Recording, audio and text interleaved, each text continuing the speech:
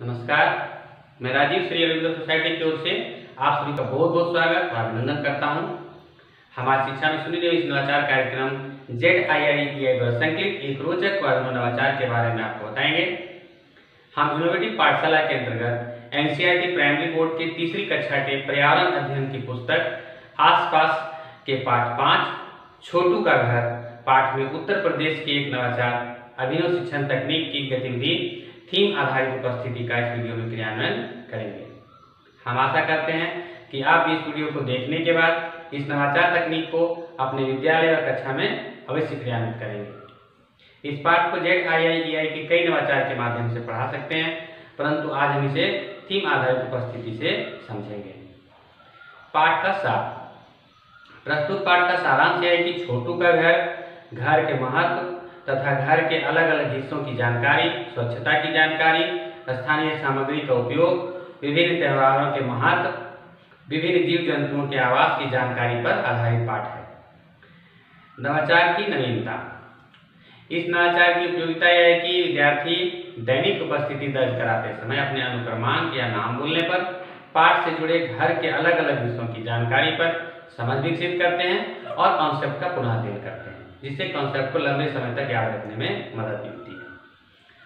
नवाचार क्रियान्वयन की प्रक्रिया।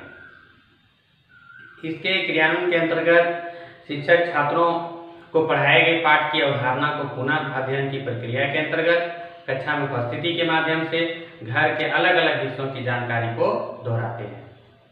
इसके क्रियान्वयन में 20 मिनट का समय लगता है। इसके लिए किसी भी प्रकार के पूर्व प्रबंधन की आवश्यकता नहीं पड़ती है। थीम आधारित उपस्थिति के निर्देश। शिक्षक द्वारा उपस्थिति के लिए घर के अलग अलग हिस्से की जानकारी के थीम निर्धारित किए जाते हैं। उन्हें विनम्रतापूर्वक निर्देशों का पालन करने के लिए कहा जाता है। और सभी विद्यार्थियों को गतिविधि के दौरान अनुशासन के पालन का निर्देश भी दिया जाता है। विद्यार्थियों की उपस्थिति क्रमानुसार ली जाती है। और कक्षा में उपस्थिति के दौरान सभी विद्यार्थियों को शिक्षक द्वारा अपने अनुक्रमांक या नाम सुनने पर घर के अलग अलग हिस्से के नाम बोलने के लिए कहा जाता है। आइए इसे उदाहरण से समझते हैं। शिक्षक किसी एक विद्यार्थी का अनुक्रमांक बोलते हैं, जैसे अनुक्रमांक एक।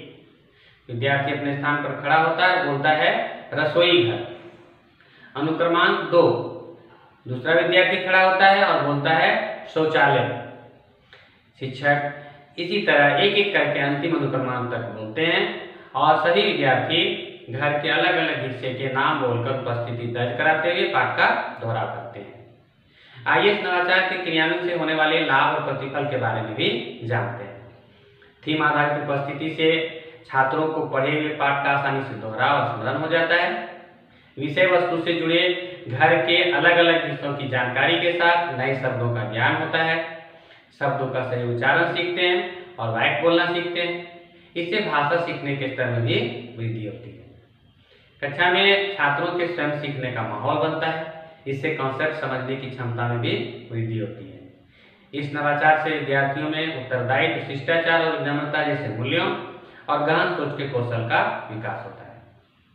यह नवाचार विशेष आवश्यकता वाले बच्चे के लिए उपयोगी और बाल केंद्रित दृष्टिकोण होने से एनसीएफ 2005 के उद्देश्यों की भी पूर्ति करता है। इस नवाचार में विद्यार्थी शिक्षक अनुपात का पूरा ध्यान रखा जाता है।